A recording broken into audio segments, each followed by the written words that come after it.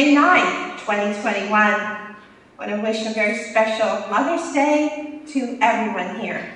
Whether you are a mother, we've all had a mother too. So on Mother's Day, we think lovingly of all those who have been our mother or grandmother, or those who have been like a mother to us. And we have Carol's mother here today, all the way from York, PA. Mary Kay, welcome to our, our um, service here. So thrilled to see you. I met you back um, December 23rd, 2019. I came in before I was coming in to uh, speak and uh, have my trial sermon. It sounds so serious. And uh, Mary Kay was folding bulletins with her daughter. So it's wonderful to see you again. And we have April and her family are here, Dennis and Peggy Prim's daughter and her family. Uh, and we're so glad that you're here. Thank you for coming. It's Ted and Megan, right? Okay, because Caitlin's at college. And uh, everyone here, my dear, dear family, friends, and members, we're so thrilled to have you here. So let us move forward. We have Richard. Henning is our worship leader. So you have some announcements for us, Richard? All right. And uh, before he begins, I do want to let you know we are this Saturday having a service for Howard France, a memorial service at 11 a.m. I do encourage you to come and support that memorial. He did pass last fall, but it's important that we honor his life with his beloved wife, Sally. Thank you so much. Good morning, everyone. Happy Mother's Day. Uh, it's another special day for Mary and I. It's our anniversary. And after 62 years, with, with me, I think Mary's up for sainthood. I have a few, I have a few announcements. Uh, reminder to buy grocery cards from Carl and to pick up the May issue of the Journal and her daily bread at the table. And all the women, please, as you leave the church today, pick up your carnation at the rear of the church. And any members of the counting team willing to stay counting again, if so, please notify Carol in the office. And there will be a memorial service for Howard France this Saturday at 11 a.m. And the Women's Guild Hoagie card sale, cards are $5 for a 7-inch hoagie. You can pick up any time at Carl's Corner. And you see Joanne Horvath or Sylvia Greger for the tickets. Uh, that's all the announcements I have. Thank you.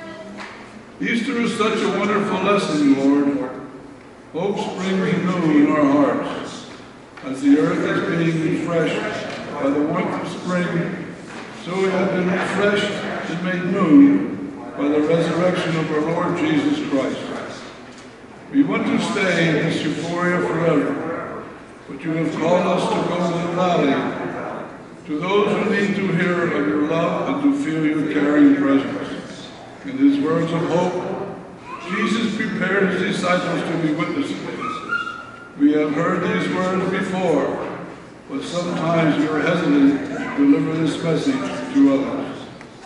We don't quite believe that we are capable of actually living our whole lives in your love. So we act in ways that are sometimes hurtful to others and to ourselves.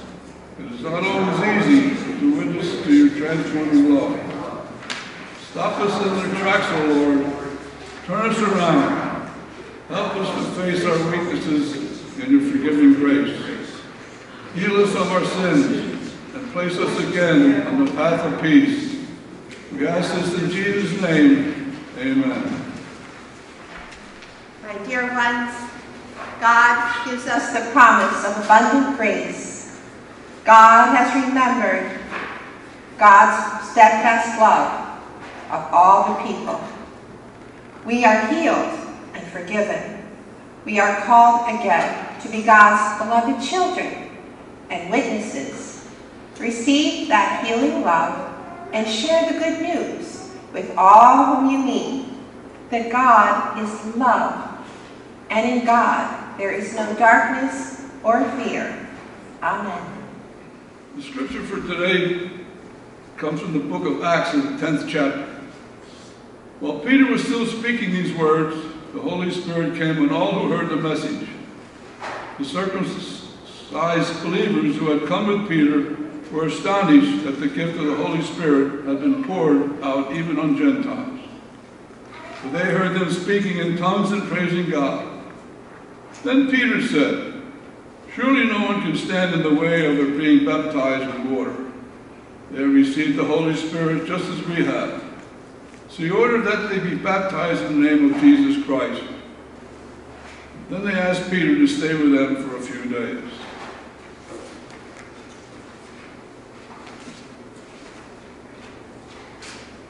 The scripture lesson for today comes from the book of John, the 15th chapter. As the Father has loved me, so I have loved you. Now remain in my love.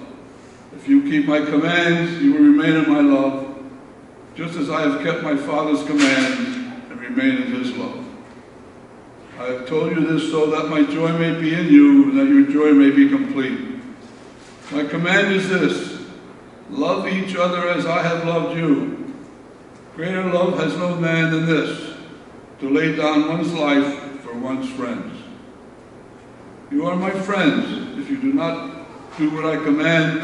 I no longer call you servants, but servants do not know the master's business. Instead, I have called you friends for everything that I have learned from my Father, that I have made known to you. You did not choose me, but I chose you and appointed you so you might go and bear fruit. Fruit that will last, and so that whatever you ask in my name, the Father will give you. This is my command. Love each other.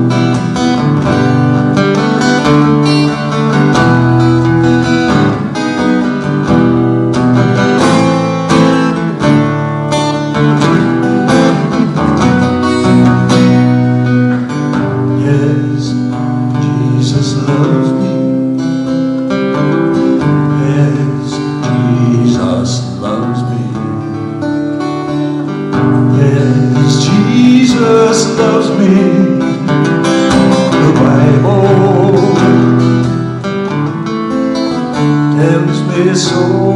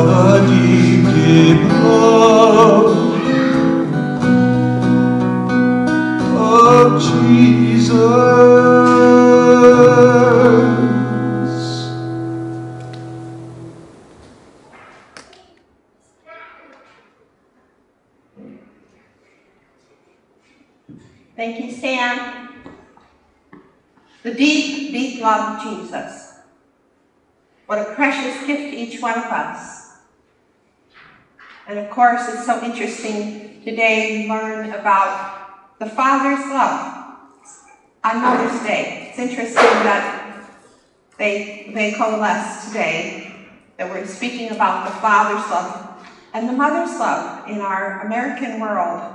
And of course, these, these Bible passages were written hundreds and hundreds of years ago. So every now and then they unite on Mother's Day. Remain in Jesus' love. Remain in the Father's love. Stay. Stay. I know it's not what we read about and learned about today, but I, it always makes me think about the story of Martha and Mary. When Jesus says to remain in my love. What a beautiful story. There wasn't any agony, there wasn't any trauma or pain. It was just a moment where Jesus had gone to see his dear friends, possibly his cousins, Martha and Mary. Martha was busy in the kitchen making food and making things for people to eat. And Mary sat at Jesus' feet. You remember this story?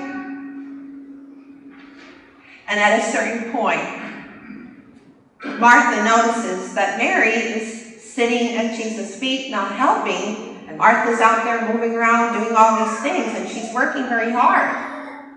And she says, Jesus, tell her to help me. I need help out here. And one of the interesting stories of Jesus that we're not always sure exactly what he meant, because he certainly wasn't disregarding Martha's efforts, but he was saying, Martha, let her go. She chose the better part. Mary was remaining in Jesus' love, staying in his presence. Of course, if we would go to a family or friend's home and they invited us for dinner or lunch, and when we got there, they would just remain in our love and not have created or cooked any food, we would be disappointed. However, in this moment, Jesus is just saying, let go. Understand. Remain in my love. And perhaps Mary put the pot down and sat with them a while.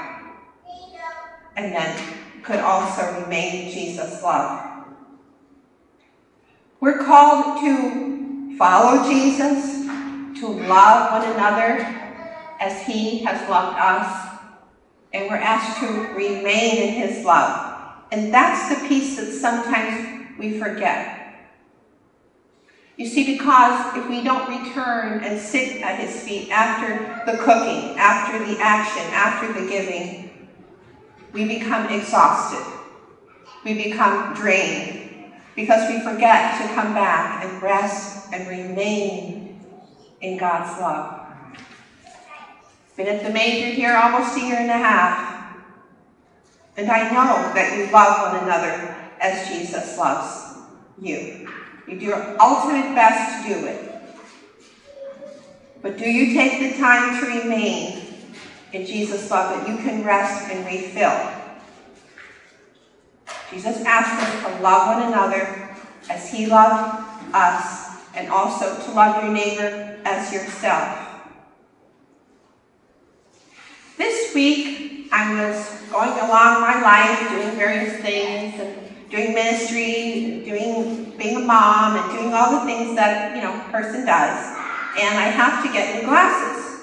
These glasses are probably six years old at least. I've been wearing them because the glasses that I bought a few years ago, they just don't fit my face. They just don't work well. They, they're too heavy. And so I went on a search to find new glasses. And I looked and I looked and I just couldn't find a frame that fit me. What does this have to do with today's gospel? How do we see life? How, what is the frame in which we look to others? Without the perspective that we were taught by our parents, by our church, perhaps we wouldn't understand how much God loves us. We're taught to see life through the frame of, yes, Jesus loves me. God loves me. There are other ways to life. I brought my own glasses. and uh, so many different perspectives. Now I can put these on. Now these are blue and kind of hip and cool, but they don't quite fit me perfectly. They just, they bother me. But I can still see you. And I can see better with these. These lenses are clear for me, but somehow aren't quite working for me. And then we have the kind which we all know are the sunglasses. These are really hip and cool. Someone I didn't have these and I went and got myself some. And you see these? A little bit rosy colored, dampens down some of the light. And when I need a rest from the world and say, I, can't look at it all, I, I can't, I need to put these on. If I'm at a memorial and I don't want everyone to see my emotion, I, I shade myself, I shade my view.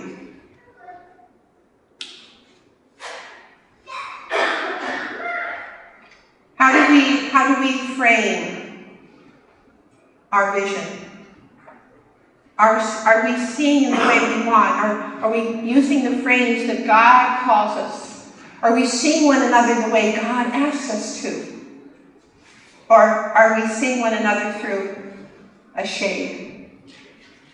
Are we seeing one another through an old prescription? is, is the newer glass hard on us? We can't quite get comfortable. Sometimes God calls us to change. He calls us to change our thoughts, our vision, our perspective. It's not easy.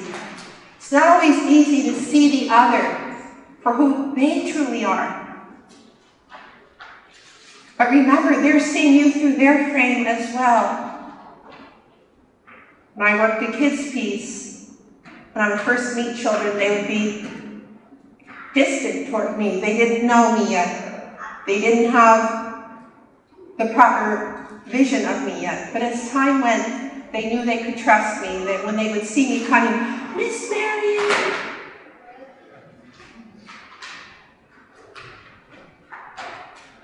We're called to see others, not just for how they look or for the behaviors they exhibit or the feelings they have or even the words they speak. We're called to see others through the lens and the frame of God's perspective. Of who God sees them to be. Beyond, there's a song, Beyond My Wants, Beyond My Fears. To life beyond death. When you imagine in your mind your mother, do you see her back in time? Your mind can see. We have a lens, we have a vision. Your children now, your families now, a few of us, like Carol, your mother is here. We have mothers, younger mothers here. Whenever I prepare a memorial service, like I was working on this week with Sally, she brought me pictures of Howard. Someone saw him through a lens and took his picture and created a frame. As a child, as a young man, middle age, and older. The same eyes in every picture, the same soul in every picture, and the same smile. Yes, we look older, but we are young. We are ageless. Our souls are eternal with God. He sees us this way. He understands our challenges, our difficulties, our loss, but God still sees us with the frame that has the best prescription. Might sometimes feel uncomfortable because he'll say, Oh, now look what you're doing. That's not what I wanted. But your activities don't change the way He sees you, what He wants for you. An unending, incredible, fierce love that God has for us.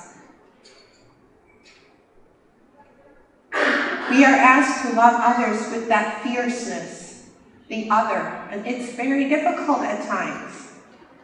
I've said many, many times being a Christian is not an easy call. Sometimes people think, well, it's a crutch. You lean on God. No, that's not the whole story. He leans on us too. He calls us to be his hands, his feet, his words, his eyes, his love. It's a big task.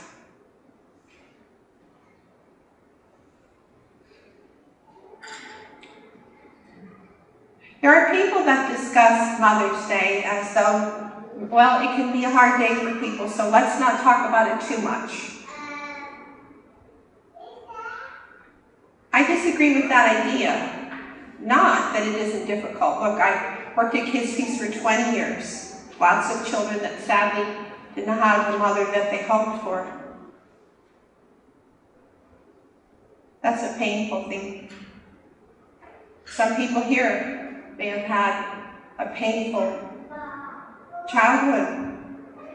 A mother that passed when they were young. Some may have wished they could have been mothers and it didn't work out. Some may have already lost their child. So today can be difficult. But regardless of what ways it hasn't been exactly the dream, God's dream of motherhood always stands. He always sees it the same way. Sorry, keep doing glasses, but God always sees motherhood as a gift, as a joy, as a treasure, as a creation, as a shared experience. We all have a mother. It isn't just are we a mother. We all birth life, men too.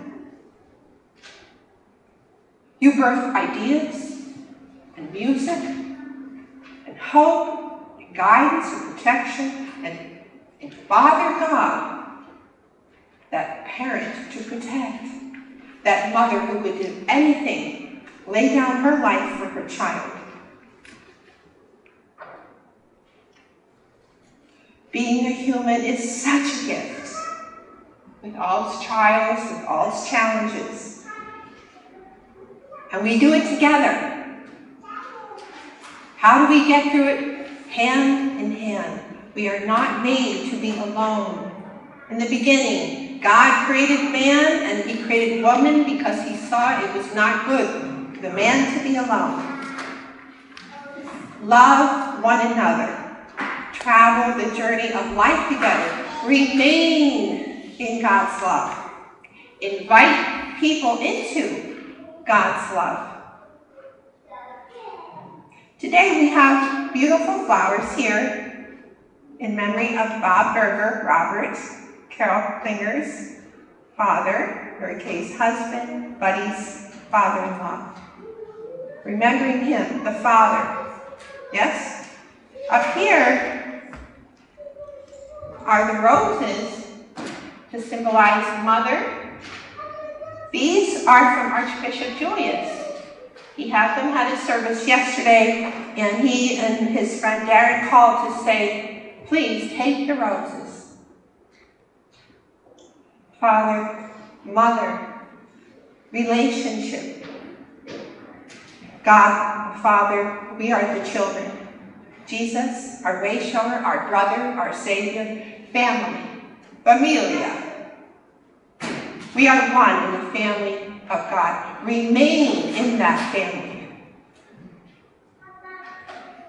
Frame your life knowing that wherever you are, no matter what happens, no matter how difficult life may be, that you are always seen through the frame of love, the perspective of love, and promise to see others in the same, the way a mother loves, the way a father loves, the way Jesus, Father, and Holy Spirit love us in totality beyond the actions that may disappoint.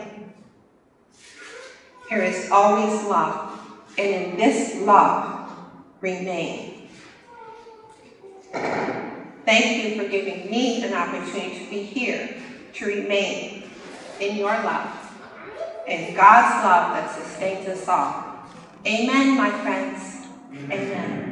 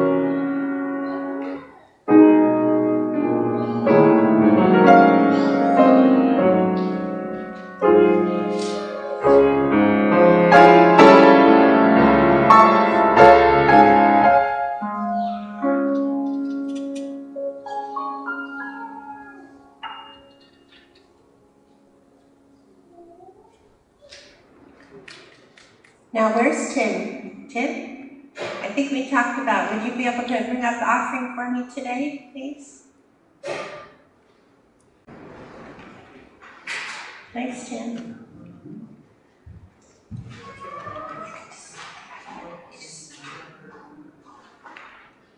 Heavenly Father, thank you for helping us to remain in your love. Teach us to rest at your feet. Teach us to understand that sometimes being with you will be enough, and bringing that love forward to others is what you call to love one another as you have loved us. Please accept these gifts from our hearts, our minds, and our work and our life, and give us the understanding that we are needed, that we are important, and that whatever we have and whatever we give to you will be blessed many times over to help others and to bring joy to our souls. Amen in Jesus' name.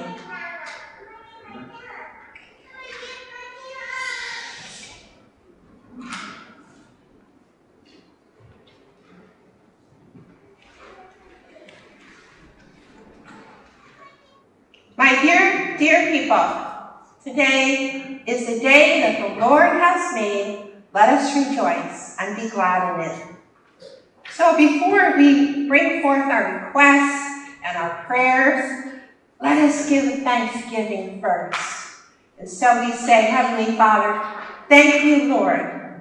Thank you for all the blessings in all the years, the days, the moments, the hours, the visions, and the love that we have experienced, the forgiveness we have experienced in your love and staying in your love. We pray with great celebration. Amen. Amen. Amen. And now, my dear ones, let us place our hands on our heart. And first, I want you to think about your mother. Call up a special moment. Her voice, her face, her love. A moment of special meaning. If it is beautiful, thank her. If it is sad, try to forgive her.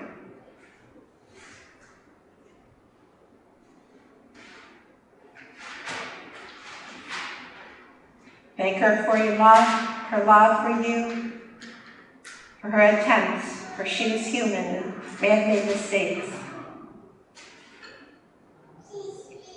And for those who have children. Let us call them to mind, men or women. And we thank you as a father or as a mother today. we've learned about the Father's love and it's Mother's Day. So, fathers, let's think of our fathers. If we are fathers and mothers, let it bring forward those memories, and for those of you who have people that you have mentored, you have been like a father or mother. Think of them, call them to mind. And also those who have mentored you, your teachers, aunts and uncles, grandparents, friends. The neighbor down the street who always took time for you.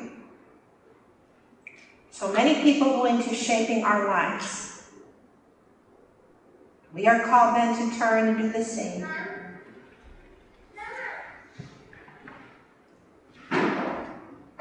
We say a prayer of thanksgiving for all the good, and we pray a prayer of hope and peace for all those who need it that we think of now, and for ourselves in those relationships in the ways that may not have been what we had hoped or if there's any pain of any kind, we pray to release it. We are all creators with God. And we acknowledge that creation, the creation of love. And now, my friends, whoever might be on your heart, who are you concerned for? Who are you hurting about? Who are you worried about? Who do you carry? Who is it? Perhaps it's more than one. Ask the Lord to bring his love so that that person can remain in God's love and know the power of that love, of sitting at the feet of Jesus. Let your loved one, if it can't be you, find someone that they can sit at their feet and know love. If they are resistant to you, let God bring a divine intervention for them. We pray today in a special way for Robert Berger, for the beautiful flowers, that we remember Robert, fabulous father, husband, uncle, friend, father-in-law, grandfather. Robert and I never met, but I know from knowing Carol, I know him. A special, special powerhouse and wonderful man who made a huge difference in so many lives, especially his families, but his community as well. We remember him with great love. We pray also for Julius, Archbishop Julius, as he moves through some health issues. We pray that he might be healed. We pray for the Metropolitan Community Church here, who have lost three members in the last several months due to various illnesses. We lift them up. We pray for those in our church who have moved on to God through the last year. We lift them up as well. And for anyone whom you love, those who are not members but are our family. Especially comes to mind now of your daughter Dawn. It's been a challenging year, but still here we are.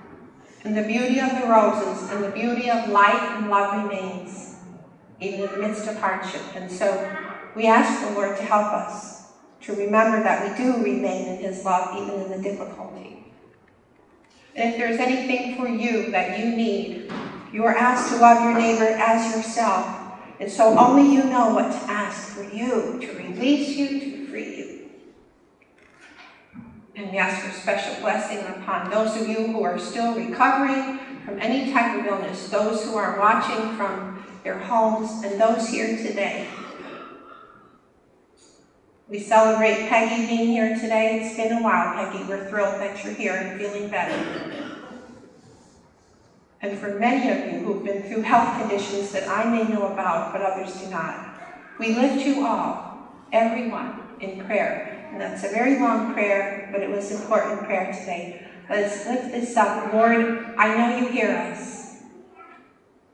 We are humans. We are doing the best, but you, we can, but you made us in your image and likeness, and so we call to you, Lord, be with us as we reach out to love as you taught us.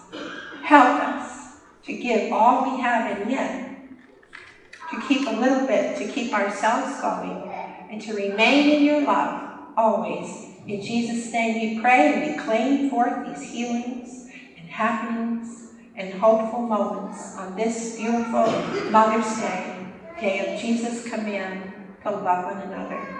Amen. Amen. And now, my dear ones, we are to say the Lord's Prayer. Such a beautiful prayer. You see, today is really all interwoven about parenthood and creation. Jesus knew he would have to leave his friends. He asked them to remain in my love, but he would leave. If I were to leave in the middle of our service today and go out the door and say, remain in my love, be a little bit unsettling. If, if you want us to remain in your love, why must you leave? But the idea is that the physical person might leave. Jesus physically would leave, but he would remain, he would stay. And so he gave us this beautiful prayer to say through the ages, through every generation. How many millions of times has this prayer been offered? And so let us join and reverberate with the sound of the generations, the sound of the cosmos, the Lord's Prayer. Our Father, who art in heaven, hallowed be thy name. Thy kingdom come, thy will be done, on earth as it is in heaven. Give us this day our daily bread, and forgive us as we forgive others. And lead us not into temptation, but deliver us from evil. For thine is the kingdom, and the power, and the glory, forever and ever. Amen. And yes, you can see that I sometimes say the prayer a little differently. I grew up saying trespasses, so Dennis and I always have a little thing about it. And now today I didn't say either, but the whole idea is that we're forgiven. We're forgiven our debts, we're forgiven our trespasses. Amen? Amen. It is truly a gift to stand in front of you and be here. Richard, thank you for helping us this morning. It's wonderful to have you. Happy anniversary! 62 years. How fabulous. And we're so thrilled to see everyone. I wanted to read this to you as part of your commission. My trust in God flows out of the experience of His loving me, day in and day out, whether the day is stormy or fair, whether I'm sick or in good health, whether I'm in a state of grace or disgrace. He comes to me where I love, where I live, and loves me as I am. He comes to me where I live and loves me where I am. He came to see Martha and Mary, and he comes to see us wherever we are. We don't have to get the house ready. We don't have to make anything. We have to open the door. We have to open our hearts. Let him visit you today in the shape of whoever comes to the door. And let you, in your life today and always, bring God wherever you go. Bring God, bring that love and acceptance. It doesn't mean you accept all the behaviors of everyone. I'm talking about bring the love. My daughter's coming to see me later. She's bringing a casserole. what are we bringing when we come to someone's door? When we step in front of someone? Bring that great, great love. Allow yourself to receive it and to give it. Jesus is waiting for you. And now your blessing. The light of God surrounds you. The love of God enfolds you. The power of God protects you. And the presence of God watches over you. And so, wherever you are, God is. And where God is, my dear ones, all is well. Amen? Amen. You are beautiful, and Jesus loves you, and so do I. Be a blessing, be at peace. Happy